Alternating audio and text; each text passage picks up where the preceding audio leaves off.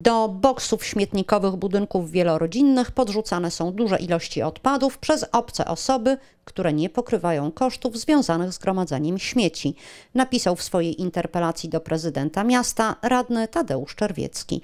Jak zauważył, bardzo często śmieci zostawiane są też wokół gniazd z kontenerami, a potem wiatr roznosi je po terenie osiedli. Zarządcy budynków wielorodzinnych zmuszeni są do zlecenia dodatkowego sprzątania osiedli i z tego powodu opłaty mieszkańców za utrzymanie porządku są wyższe niż powinny być, stwierdza radny, który jest członkiem zarządu międzyzakładowej spółdzielni mieszkaniowej. I dodaje, że kilka lat temu na dwóch osiedlach zamknięto wiaty, a klucze dano mieszkańcom.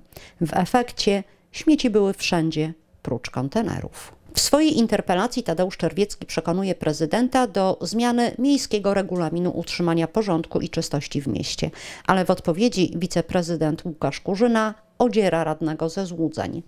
Odpowiedź jest bardzo obszerna, ale konkluzja krótka.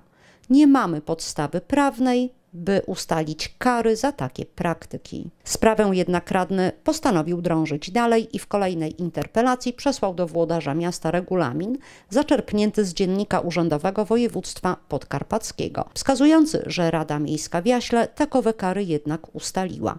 Tyle, że w 2016 roku. Tymczasem w późniejszym czasie Ustawa o utrzymaniu porządku i czystości w gminach została znowelizowana i jej nowa treść już nie upoważnia samorządu do karania nieuczciwych mieszkańców. Opisany przez radnego Czerwieckiego problem może jednak zostać rozwiązany. Wprawdzie ani rada, ani prezydent kar za podrzucanie śmieci ustanowić nie mogą, ale nic nie stoi na przeszkodzie, by zarządcy budynków lub ich mieszkańcy przyłapanego na podrzucaniu odpadów pociągnęli do odpowiedzialności na drodze cywilnej i zażądali od niego zwrotu poniesionych kosztów. Trzeba tylko takiego sprawcę przyłapać na gorącym uczynku, wezwać strażników miejskich i sporządzony przez nich protokół lub notatkę dołączyć do pozwu.